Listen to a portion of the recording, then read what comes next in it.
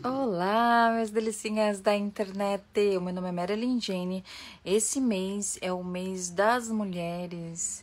Eu estou fazendo uma série de vídeos aí sobre alguns temas, né? No Instagram eu acabei de uh, fazer um vídeo falando sobre a pressão estética, né? Muitas mulheres estão indo a óbito porque estão tomando chás de ervas, muitas ervas, né? Que acabam impactando os rins. Estão tomando substâncias emagrecedoras que acabam também impactando os rins. E a gente está vendo esses casos aí uh, de morte, né? Devido ao fato da mulher querer entrar num padrão aí estético, né? E buscando formas totalmente incorretas de chegar nisso. E neste vídeo eu quero falar sobre sororidade. O conceito de sororidade é um conceito muito importante. Significa irmandade entre as mulheres, né? Muitas vezes nessas fotos de Instagram, o que a gente mais vê são mulheres criticando outras mulheres, criticando seus corpos, né? Às vezes a mulher coloca lá uma foto, a mulher vem e fala um monte, que horrível, que feia. É, teve até recentemente uma ex-BBB que fez uma cirurgia na testa, ela diminuiu a testa, eu até esqueci o nome dessa cirurgia, porque estavam criticando ela, falando que ela tinha um testão para você ver como que tá tóxico, né? E são mulheres que ficam criticando outras mulheres e é muita hipocrisia, porque aí chega setembro, todo mundo fica nessa de setembro amarelo, né? Que é o mês da saúde mental. No mês de setembro você fica é, fazendo propaganda para o setembro amarelo, mas no restante dos meses você fica tacando o pau na mulherada. A gente tem que se unir, respeitar umas às outras, ajudar outras mulheres, né?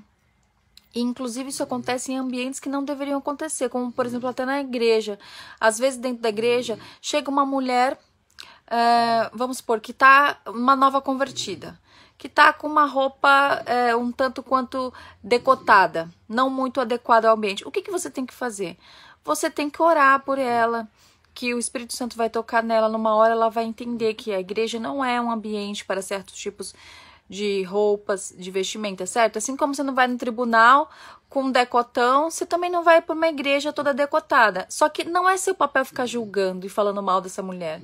Tem muita gente que acaba muitas vezes saindo da igreja, muitas mulheres pelo excesso de julgamento, né?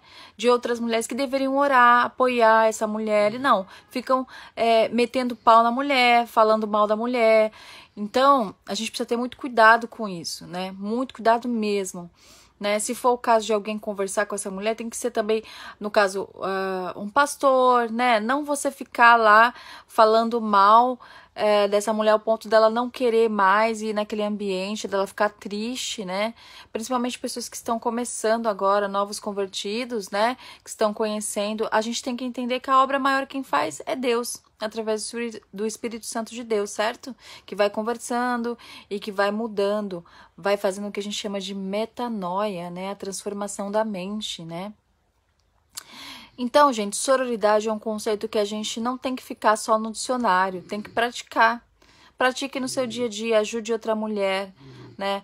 Com um conselho, com um empurrãozinho, né?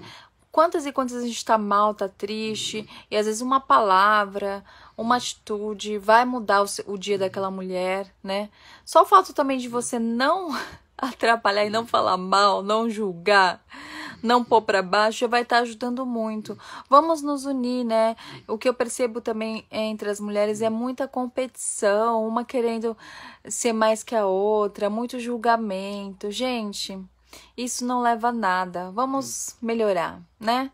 Essa é a mensagem que eu queria deixar. Eu quero também que vocês compartilhem esse vídeo, deem like.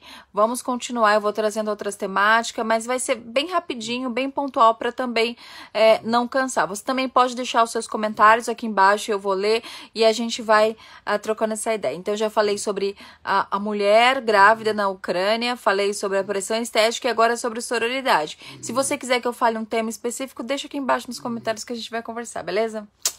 É isso aí, um beijão. Tchau, tchau.